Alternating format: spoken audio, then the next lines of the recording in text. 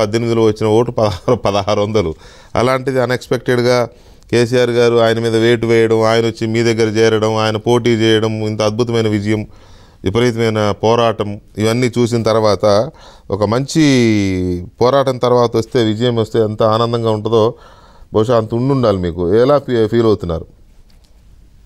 ఉదయము రిలీజ్ అయినటువంటి triple R benefit show ఏదైతుందో దాంట్లో టైటిల్ సీన్తోనే ఇది బ్లాక్ బస్టర్ అని తేలిపోయింది. ఇప్పుడు మొత్తం షో అంతా అయిపోయిన తర్వాత టీఆర్ఎస్ వాళ్ళ బాక్సులు బద్దలైపోయినాయి ఈ యొక్క ఫలితం చూసి. వాస్తవమే మాకు గతంలో ఎక్కువ ఓట్లు లేవు అక్కడ హుజరాబాద్లో. కానీ దాని తర్వాత జరిగినటువంటి పరిణామాలు గమనించాలి. అసెంబ్లీ ఎన్నికల తర్వాత ఆరు నెలల్లో జరిగినటువంటి ఎంపీ ఎన్నికల్లో లోక్సభ ఎన్నికల్లో మాకు ఇరవై ఆరు వేల ఓట్లు వచ్చినాయి అక్కడ. దాని తర్వాత దుబ్బాక ద్వారా ఈ రాష్ట్రంలో మార్పుకు నాంది పలికినాం. హైదరాబాద్లో మాకు నలభై ఎనిమిది సీట్లు వచ్చినాయి. తర్వాత జరిగినటువంటి మున్సిపల్ ఎన్నికల్లో వరంగల్ లాంటి ప్రాంతాల్లో కూడా మేము ప్రభావం చూపగలిగినాం.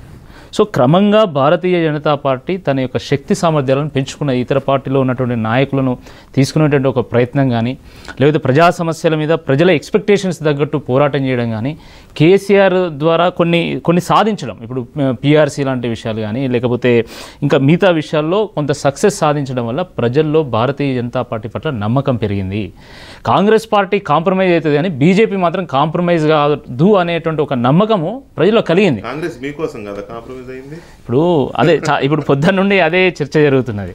అది- అది వాస్తవం కాదా? అసలే వాస్తవం కాదు. ప్రజలు పోలరైజ్ అయింది ఇప్పుడు మాకు కేవలం కాంగ్రెస్ ఓటర్లే ఓట్లేయలే. టీఆర్ఎస్ వాళ్ళు కూడా మాకు ఓట్లు వేసారు సో మరి దాన్ని ఏమంటారు అంటే టీఆర్ఎస్ మేము కుమ్మక్కైనట్ట?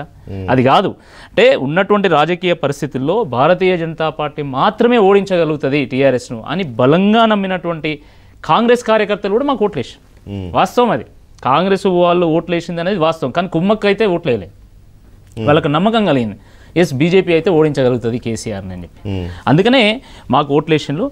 కాబట్టి ఈరోజు బలమైనటువంటి ప్రత్యామ్నాయం కాదు. మార్పు కేవలం భారతీయ జనతా పార్టీతో మాత్రమే సాధ్యమని ప్రజలు నమ్ముతున్నారు. మీరు చూడండి హుజురాబాద్ హుజూర్ నగర్లో నాగార్జున సాగర్లో కాంగ్రెస్ సంస్థాగతంగా మాకంటే పలు రెట్లు బలమైనటువంటి పార్టీ. ఉమ్. కానీ అక్కడ కాంగ్రెస్ విజయం సాధించలేకపోయింది. కానీ దుబ్బాకలో అదేవిధంగా మేము ఇక్కడ హుజరాబాద్లో మేము ఫలితం సాధించగలిగినాం. అంటే భారతీయ జనతా పార్టీ గనక ఒక బలమైనటువంటి అభ్యర్థి తోడైతే బీజేపీని నిలువరించేటువంటి శక్తి టీఆర్ఎస్ పార్టీకి లేదు అని తేటతెల్లం అయిపోయింది. ఇప్పుడు మాకు ఆల్రెడీ సగానికి పైగా నియోజకవర్గంలో బలమైనటువంటి నాయకులు ఉన్నారు. అంటే అనేక సంవత్సరాలుగా బీజేపీలో పనిచేస్తున్నటువంటి వాళ్ళు కానీ లేకపోతే గత సంవత్సరం రెండు సంవత్సరాల కాలంలో టీఆర్ఎస్ నుంచి వెళ్ళి కాంగ్రెస్ నుంచి వచ్చినటువంటి నాయకులు కానీ తప్పకుండా బలమైనటువంటి నాయకులు. నేను అనేది కూడా అదే.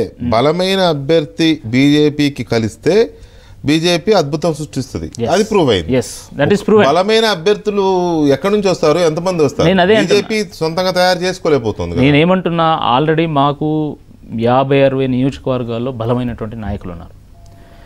ఇంకా టీఆర్ఎస్ పార్టీ నుండి ఈ ఈ ఫలితం తర్వాత చాలామంది వస్తారనే నమ్మకం మాకున్నది. కాంగ్రెస్ పార్టీని కూడా చాలా జాయినింగ్స్ ఉంటాయి.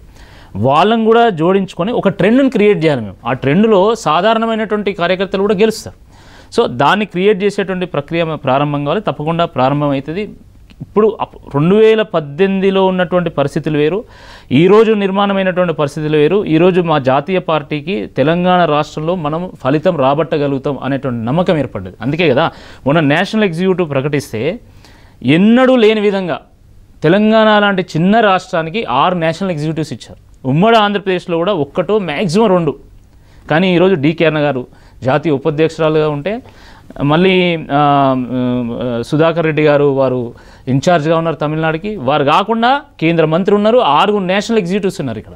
అంటే సెంటర్ రేడార్లో భారతీయ జనతా పార్టీ తెలంగాణ భారతీయ జనతా పార్టీ ఉంది. తప్పకుండా ఇక్కడ అధికారంలోకి తీసుకురావాలనే ఒక ఆలోచన ఉంది. అది కాకుండా సోషల్ ఎక్స్పాన్షన్ జరుగుతుంది బీజేపీ విషయంలో. గతంలో బీసీలు నామమాత్రంగా మాకు మద్దతు పలికేటోళ్ళు. ఈరోజు మున్నూరు కాపులు. ఏకపక్షంగా ఈరోజు భారతీయ జనతా